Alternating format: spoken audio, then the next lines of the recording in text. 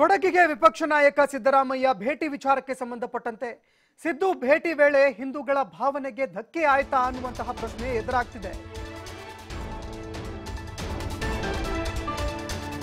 ದೇವಸ್ಥಾನಕ್ಕೆ ಭೇಟಿ ಕೊಡುವ ಸಂದರ್ಭದಲ್ಲಿ ನಾಟಿ ಕೋಳಿ ಸಾರು ತಿಂದು ದೇವಸ್ಥಾನಕ್ಕೆ ಸಿದ್ದರಾಮಯ್ಯ ಭೇಟಿ ಕೊಟ್ರ ಈ ಪ್ರಶ್ನೆ ಎದುರಾಗ್ತಿದೆ. ಮಾಂಸ ಆಹಾರವನ್ನ ಸೇವಿಸಿ ಸಿದ್ದರಾಮಯ್ಯ ದೇವಸ್ಥಾನಕ್ಕೆ ಭೇಟಿ ಕೊಟ್ಟಿದ್ದಾರೆ ಅಂತ ಹೇಳಲಾಗ್ತಿದೆ. ವಿಪಕ್ಷ ನಾಯಕ ಸಿದ್ದರಾಮಯ್ಯರಿಗಾಗಿ ನಾಟಿ ಕೋಳಿ ಸಾರು, ರಾಗಿ ಮುದ್ದೆ, ಕಣಿಲೆ ಅನ್ನ, ತರಕಾರಿ ಸಾರು, ಭರ್ಜರಿ ಭೂರಿ ಭೋಜನವನ್ನ ಏರ್ಪಡಿಸಲಾಗಿತ್ತು. ಈ ಊಟದ ಬಳಿಕ ಕೂಡ್ಲಿಪೇಟೆಯ ಬಸವೇಶ್ವರ ದೇವಸ್ಥಾನಕ್ಕೆ ಸಿದ್ದು ಭೇಟಿ ಕೊಟ್ಟಿದ್ರು. ಮಾಂಸದೂಟದ ಬಳಿಕ ಸಿದ್ದು ಟೆಂಪಲ್ ರನ್ ಆರಂಭಿಸಿದ್ರ ಅನ್ನುವಂತಹ ಪ್ರಶ್ನೆ ಎದುರಾಗಿದೆ. ಮಡಿಕೇರಿಯ ಸರ್ಕ್ಯೂಟ್ ಹೌಸ್ನಲ್ಲಿ ಊಟ ಮಾಡಿದ್ರು ಸಿದ್ದರಾಮಯ್ಯ. ಆಗಸ್ಟ್ ಹದಿನೆಂಟರ ಮಧ್ಯಾಹ್ನ ಊಟವನ್ನ ಮಾಡಿದ್ರು ಸಿದ್ದರಾಮಯ್ಯ. ಮಾಜಿ ಎಂಎಲ್ಸಿ ವೀಣಾ ಅಚ್ಚಯ್ಯ ಮನೆಯಲ್ಲಿ ಊಟದ ವ್ಯವಸ್ಥೆಯನ್ನ ಮಾಡಲಾಗಿತ್ತು. ವಿಪಕ್ಷ ನಾಯಕ ಸಿದ್ದರಾಮಯ್ಯರಿಗಾಗಿ ಅವರು ಬರ್ತಾ ಇದ್ದಾರೆ ಅನ್ನೋ ಕಾರಣಕ್ಕೋಸ್ಕರ ನಾಟಿ ಕೋಳಿ ಸಾರು, ರಾಗಿ ಮುದ್ದೆ, ಕಣಿಲೆ, ಅನ್ನ, ತರಕಾರಿ ಸಾರು, ಭರ್ ಭೋಜನವನ್ನ ಏರ್ಪಡಿಸಲಾಗಿತ್ತು. ಅಂದು ನಾಟಿ ಕೋಳಿ ಸಾರು ತಿಂದಿದ್ರು ವಿಪಕ್ಷ ನಾಯಕ ಸಿದ್ದರಾಮಯ್ಯ ಅಂತ ಹೇಳಲಾಗ್ತಿದೆ. ಊಟದ ಬಳಿಕ ಕೂಡ್ಲಿಪೇಟೆಯ ಬಸವೇಶ್ವರ ದೇವಸ್ಥಾನಕ್ಕೆ ಸಿದ್ದರಾಮಯ್ಯ ಭೇಟಿ ಕೊಟ್ಟಿದ್ದಾರೆ. ಸಿದ್ದರಾಮಯ್ಯ ಊಟ ಮಾಡಿದ ಬಳಿಕ ಆ ಊಟದ ಊಟ ಮಾಡ್ತಾ ಇರುವಂತಹ ಫೋಟೋವನ್ನ ಕೂಡ ವೈರಲ್ ಮಾಡಲಾಗಿದೆ. ನಂತರ ಸಿದ್ದು ದೇವಸ್ಥಾನಕ್ಕೆ ಹೋದಂತಹ ವಿಡಿಯೋ ಕೂಡ ವೈರಲ್ ಆಗ್ತಿದೆ. ಈ ಬಗ್ಗೆ ಮಾಜಿ ಸ್ಪೀಕರ್, ಬಿಜೆಪಿ ಶಾಸಕ ಕೆಜಿ ಬೋಪಯ್ಯ ಅಸಮಾಧಾನ ವ್ಯಕ್ತಪಡಿಸಿದ್ದಾರೆ. ಹಿಂದೂಗಳ ನಂಬಿಕೆ ಭಾವನೆಗೆ ನೋವು ತರಲಾಗಿದೆ. ಯಾವ, ಯಾವುದೇ ಸಿದ್ದು ಕೆಲಸ ಈ ಈ ಇಂತಹ ಕೆಲಸವನ್ನ ಮಾಡೋದೇ ಸಿದ್ದರಾಮಯ್ಯ ಕೆಲಸ. ಸಿದ್ದರಾಮಯ್ಯ ವಿರುದ್ಧ ಮಡಿಕೇರಿಯಲ್ಲಿ ಕೆಜಿ ಬೋಪಯ್ಯ ವಾಗ್ದಾಳಿ ನಡೆಸಿದ್ದಾರೆ.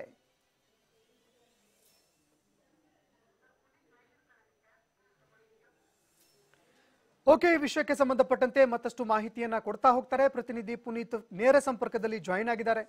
ಓಕೆ ಪುನೀತ್, ಒಂದು ಕಡೆಯಲ್ಲಿ ನಾವು ನೋಡೋದಾದ್ರೆ ಸಾವರ್ಕರ್ ವಿಷಯಕ್ಕೆ ಸಂಬಂಧಪಟ್ಟಂತೆ ಎಲ್ಲಾ ಕಡೆಗಳಲ್ಲೂ ಕೂಡ ಈಗಾಗಲೇ ಧಾರ್ಮಿಕ ಭಾವನೆಗಳು ಎಲ್ಲಾ ಕಡೆಗಳಲ್ಲೂ ಹತವಾಗುವಂತಹ ಘಟನೆಗಳು ಕಾಣ್ತಾ ಇದ್ದಾವೆ ಇದರ ನಡುವೆ ಎಲ್ಲೋ ಒಂದು ಕಡೆಯಲ್ಲಿ ಜನರ ಸಮಸ್ಯೆಗಳನ್ನ ಆಲಿಸಬೇಕಾಗಿತ್ತು ನಾಯಕರು. ಆದ್ರೆ ಈ, ಆ ಧಾರ್ಮಿಕ ಭಾವನೆಗಳನ್ನ ಇಲ್ಲಿ ಎಲ್ಲೋ ಒಂದ್ ಕಡೆಯಲ್ಲಿ ನೋವುಂಟು ಮಾಡ್ತಾ ಇದ್ದಾರೆ. ಕೇವಲ ಧಾರ್ಮಿಕ ಇಂತಹ ವಿಷಯಗಳನ್ನ ಮಾತ್ರ ಈಗ ಹೈಲೈಟ್ ಮಾಡುವಂತಹ ಕೆಲಸ ನಡೀತಾ ಇದೆಯಾ? ಅಷ್ಟಕ್ಕೂ ಸಿದ್ದರಾಮಯ್ಯ ಭೇಟಿ ನೀಡಿದಂತಹ ಸಂದರ್ಭದಲ್ಲಿ ಅಲ್ಲಿ ನಡೆದಂತಹ ಘಟನೆ ಏನು ನಿಜವಾಗ್ಲೂ ಸಿದ್ದರಾಮಯ್ಯ ನಾನ್ ವೆಜ್ ಅನ್ನ ಸೇವನೆ ಮಾಡಿದ್ರಾ? ಹೇಗೆ ಅಂತ?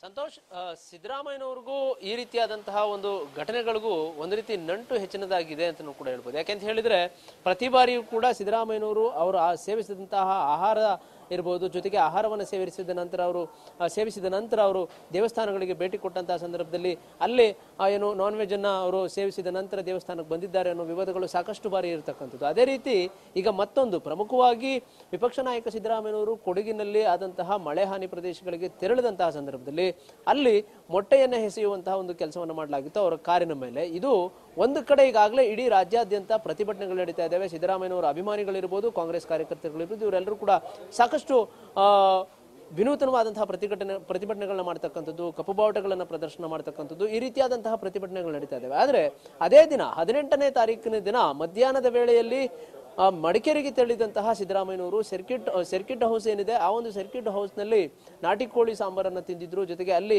ಆಹಾರ ಏನು ಮಾಂಸಾಹಾರವನ್ನು ಸೇವಿಸಿದ್ರು. ಅದಾದ ಬಳಿಕ ಕೊಡ್ಲಿಪೇಟೆಯ ಬಸವೇಶ್ವರ ದೇವಸ್ಥಾನಕ್ಕೆ ತೆರಳಿದ್ರು ಅನ್ನೋ ಒಂದು ಮಾಹಿತಿ ಇರತಕ್ಕಂಥದ್ದು. ಪ್ರಮುಖವಾಗಿ ಏನು ಕಾಂಗ್ರೆಸ್ನ ಮಾಜಿ M L C Veena Achaiah ಏನಿದ್ದಾರೆ, ಅವರ ಮನೆಯಿಂದಲೇ ಈ ಒಂದು ನಾನ್ ವೆಜ್ ಊಟ ತಯಾರಿಯಾಗಿ ಬಂದಿರುತ್ತೆ. ಅಲ್ಲಿ ಆ ಒಂದು ಆಹಾರವನ್ನು ಸೇವಿಸಿದ ನಂತರ ಸಿದ್ದರಾಮಯ್ಯನವರು ಕೊಡ್ಲಿಪೇಟೆಯ ಬಸವೇಶ್ವರ ದೇವಸ್ಥಾನಕ್ಕೆ ತೆರಳಿದ್ರು ಅಂತ ಅನ್ನೋ ಒಂದು ಮಾಹಿತಿ ಏನಿದೆ. ಇದಕ್ಕೆ ಸಂಬಂಧಪಟ್ಟಂತೆ ಈಗಾಗಲೇ ಧಾರ್ಮಿಕ ಭಾವನೆಗಳಿಗೆ ಧಕ್ಕೆಯನ್ನು ತರತಕ್ಕಂಥ ಜೊತೆಗೆ ಹಿಂದೂಗಳ ಭಾವನೆಗೆ ಧಕ್ಕೆಯನ್ನು ತರತಕ್ಕಂಥ ಕೆಲಸವನ್ನು ಮಾಡಲಾಗ್ತಾ ಇದೆ ಅಂತ ಹೇಳಿ ಬಿಜೆಪಿಯ ಶಾಸಕ ಏನು ಮಾಜಿ ಸ್ಪೀಕರ್ ಆಗಿರ್ತಕ್ಕಂಥ ಬೋಪಯ್ಯನವರು ಕೂಡ ತಮ್ಮ ಅಸಮಾಧಾನವನ್ನು ವ್ಯಕ್ತಪಡಿಸಿದ್ದಾರೆ. ಪ್ರಮುಖವಾಗಿ ಸಿದ್ದರಾಮಯ್ಯನವರು ಈ ತರದ ಒಂದು ಹಲವು ಘಟನೆಗಳಲ್ಲಿ ಘಟನೆಗಳ ಸಂದರ್ಭದಲ್ಲಿ ಅವರಿಗೆ ಪ್ರಶ್ನೆಯನ್ನ ಮಾಡಿದಂತಹ ಸಂದರ್ಭದಲ್ಲೂ ಕೂಡ ಅದಕ್ಕೆ ಸಮಜಾಯಿಸಿಯನ್ನು ಕೊಡುವ ಮುಖಾಂತರ ಅದಕ್ಕೆ ತಕ್ಕ ಉತ್ತರವನ್ನು ಕೊಡುವಂಥ ಒಂದು ಕೆಲಸವನ್ನು ಮಾಡಿದ್ದಾರೆ. ಇದು ಒಂದು ಕಡೆ ಈಗ ಮತ್ತೆ ಅದೇ ರೀತಿಯಾದಂತಹ ವಾತಾವರಣ ನಿರ್ಮಾಣವಾಗಿದೆ ಯಾಕೆಂತ ಹೇಳಿದ್ರೆ ಒಂದು ಒಂದು ಬಾರಿ ಆ ಧರ್ಮಸ್ಥಳದ ಮಂಜುನಾಥ ದೇವಸ್ಥಾನಕ್ಕೂ ಕೂಡ ಅವರು ಮಾಂಸಾಹಾರವನ್ನು ಸೇವಿಸಿ ತೆರಳಿದ್ರು ಅಂತ ಹೇಳಿ ಆಗ ಒಂದು ಸಂದರ್ಭದಲ್ಲಿ ಸಾಕಷ್ಟು ಪ್ರತಿಭಟನೆಗಳಾಗಿದ್ದಂಥದ್ದು ಇತ್ತು. ಜೊತೆಗೆ ಹಿಂದೂಗಳ ಭಾವನೆಗಳಿಗೆ ಹೆಚ್ಚಿನದಾಗಿ ಧಕ್ಕೆ ಆಗಿದೆ ಅನ್ನೋ ಒಂದು ವಿಚಾರ ಸಾಕಷ್ಟು ಚರ್ಚೆಯಲ್ಲಿತ್ತು. ಈಗ ಅದರ ಬೆನ್ನಲ್ಲೇ ಏನು ಈಗ ಪ್ರಮುಖವಾಗಿ ಈ ಒಂದು ಆ ಮೊಟ್ಟೆ ಎಸೆತದ ಒಂದು ಪ್ರಕರಣ ಏನಿದೆ, ಇದರ ಇದರ ಜೊತೆಗೆ ಇದೀಗ ಮತ್ತೆ ಹಿಂದೂಗಳ ಭಾವನೆಗಳಿಗೆ ಧಕ್ಕೆಯನ್ನು ತರತಕ್ಕಂಥ ಕೆಲಸವನ್ನು ಸಿದ್ದರಾಮಯ್ಯನವರು ಮಾಡ್ತಾ ಇದ್ದಾರೆ. ಹೀಗಾಗಿ ಅವರು ಮಾಂಸಾಹಾರವನ್ನು ಸೇವಿಸಿದ ನಂತರವೂ ಕೂಡ ಬಸವೇಶ್ವರ ದೇವಸ್ಥಾನಕ್ಕೆ ಹೋಗಿದ್ದಾರೆ ಅಂತ ಹೇಳಿ ಈಗ ಮತ್ತೊಂದು ಚರ್ಚೆ ಇರತಕ್ಕಂಥದ್ದು ಸಂತೋಷ್. ಈಗ ಪುನೀತ್ ನಾವು ಮತ್ತೊಂದು ಕಡೆ ನೋಡೋದಾದ್ರೆ ಜನರು ಅಪಾರ ಸಮಸ್ಯೆಯಲ್ಲಿದ್ದಾರೆ. ಈ ಮಳೆಯಿಂದಾಗಿ ಅಪಾರ ಹಾನಿಯನ್ನು ಅನುಭವಿಸಿದ್ದಾರೆ. ಕೆಲವರ ಹತ್ರ ಇರಲಿಕ್ಕೆ ಮನೆ ಇಲ್ಲ. ಮತ್ತೊಬ್ಬರಿಗೆ ಮಾಡ್ಲಿಕ್ಕೆ ಊಟ ಮಾಡ್ಲಿಕ್ಕೂ ಕೂಡ ಪರದಾಡುವಂತಹ ಪರಿಸ್ಥಿತಿ. ಈ ನಡುವೆ ವಿಪಕ್ಷದ ನಾಯಕರು ಏನು ತಿಂತಾ ಇದ್ದಾರೆ ಏನು ಮಾಡ್ತಾ ಇದ್ದಾರೆ ಇದನ್ನೇ ನೋಡುವಂತಹ ಕೆಲಸವನ್ನು ಸರ್ಕಾರ ಇಲ್ಲಿ ಮಾಡ್ತಾ ಇದೆಯಾ?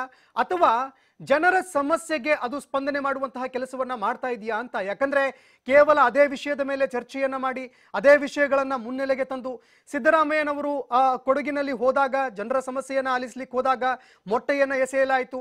ಕೊಡಗಿನಲ್ಲಿ ಜನ ಏನ್ ಮಾಡ್ತಾ ಇದ್ದಾರೆ ಏನಾಗಿದೆ ಜನರಿಗೆ? ಆ ಸಮಸ್ಯೆಯನ್ನ ಕೇಳಲಿಕ್ಕೆ ಯಾರು ಹೋಗ್ಲೇ ಇಲ್ಲ.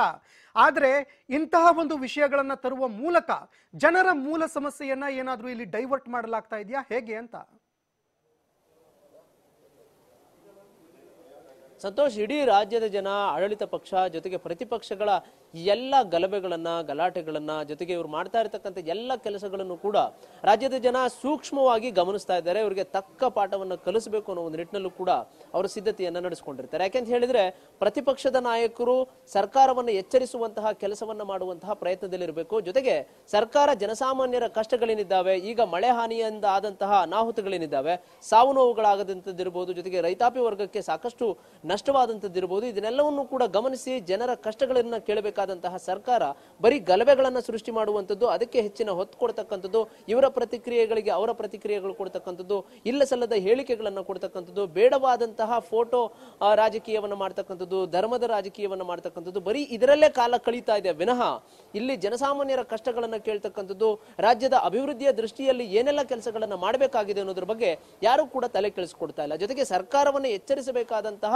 ವಿರೋಧ ಪಕ್ಷದವರು ಕೂಡ ಇಲ್ಲಿ ಪ್ರಮುಖವಾಗಿ ಈ ತರದ ಗಲಭೆಗಳಿಗೆ ಹೆಚ್ಚಿನದಾಗಿ ಮಹತ್ವವನ್ನು ಕೊಡ್ತಕ್ಕಂಥದ್ದು, ಜೊತೆಗೆ ಈ ಥರದನ್ನೇ ಬಳಸಿಕೊಂಡು ಅಲ್ಲಿ ಪ್ರತಿಭಟನೆಗಳನ್ನು ಮಾಡ್ತಕ್ಕಂಥದ್ದು, ಈ ಎಲ್ಲ ರೀತಿಯಾದಂತಹ ಕೆಲಸಗಳನ್ನು ಮಾಡ್ತಾ ಇರತಕ್ಕಂಥದ್ದು ರಾಜ್ಯದ ಜನರಿಗೂ ಕೂಡ ಬೇಸರವನ್ನು ಉಂಟು ಮಾಡಿದೆ. ಹೀಗೆ ಈಗ ಬಿಜೆಪಿ ಸರ್ಕಾರ ಅಧಿಕಾರಕ್ಕೆ ಬಂದಾಗ್ಲಿಂದಲೂ ಕೂಡ ಯಾವುದೇ ರೀತಿಯಾದಂತಹ ಅಭಿವೃದ್ಧಿ ಕೆಲಸಗಳು ಆಗ್ತಾ ಇರತಕ್ಕಂಥದ್ದು ಜನಸಾಮಾನ್ಯರ ಕಣ್ಣಿಗೂ ಕೂಡ ಕಾಣಿಸ್ತಾ ಇಲ್ಲ. ಯಾಕೆಂತ ಹೇಳಿದ್ರೆ, ಮೈಸೂರು ಭಾಗವನ್ನ ನಾವು ಗಮನಿಸಬಹುದು ಕಳೆದ ಹಲವು ದಿನಗಳಿಂದ ಸುರಿದಂತಹ ಮಳೆಗೆ ಕೊಡಗು ಇರಬಹುದು ಮೈಸೂರು ಇರಬಹುದು ಚಾಮರಾಜನಗರ ಇರಬಹುದು ಈ ಭಾಗಗಳಲ್ಲಿ ಸಾಕಷ್ಟು ಹಾನಿಯಾಯಿತು. ಆ ಒಂದು ಸ್ಥಳಕ್ಕೆ ಆಡಳಿತ ಪಕ್ಷದ ನಾಯಕರಾಗ್ಲಾಗ್ಲಿ ಅಥವಾ ಉನ್ನತ ಅಧಿಕಾರಿಗಳಾಗ್ಲಿ ಬಂದು ಅಲ್ಲಿ ಪರಿಶೀಲನೆಯನ್ನು ಮಾಡಿ ಜನ ಏನೆಲ್ಲ ಕಷ್ಟಗಳು ಅನುಭವಿಸ್ತಾ ಇದ್ದಾರೆ ಅವರಿಗೆ ಸಹಕರಿಸುವಂತ ಒಂದು ಕೆಲಸವನ್ನ ಸ್ಪಂದಿಸುವಂತ ಒಂದು ಕೆಲಸವನ್ನು ಮಾಡ್ತಾರೆ ಜೊತೆಗೆ ಅಂತ ಒಂದು ಸ್ಥಳಕ್ಕೆ ವಿರೋಧ ಪಕ್ಷದವರು ಆದರೂ ಕೂಡ ಭೇಟಿಯನ್ನು ಕೊಡುವ ಮುಖಾಂತರ ಅಲ್ಲೇ ಆಗಿರ್ತಕ್ಕಂಥ ಅನಾಹುತವನ್ನ ಪ್ರಶ್ನೆ ಮಾಡಿ ಸರ್ಕಾರಕ್ಕೆ ಚೀಮಾರಿ ಆಗ್ತಕ್ಕಂಥ ಕೆಲಸವನ್ನಾದ್ರೂ ಮಾಡಬೇಕು ಅದನ್ನ ಓಕೆ ಧನ್ಯವಾದಗಳು ಪುನೀತ್ ನಿಮ್ಮೆಲ್ಲ ಮಾಹಿತಿಗೆ.